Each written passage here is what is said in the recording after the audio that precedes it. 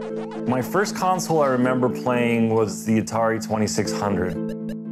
I remember saying like, wow, look at the graphics.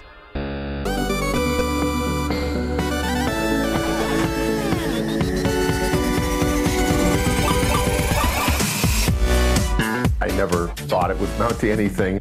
He informs us they want to pay us $30 million. It was like, what? Video games vastly differ from every other kind of media.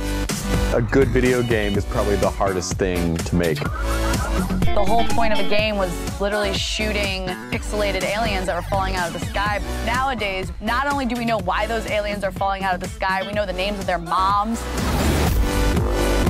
and we know we have to destroy all of them.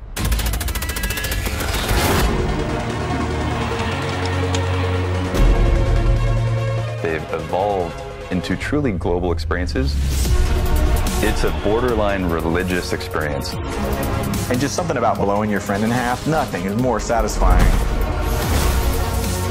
I have lifelong friends that I've met just playing together online.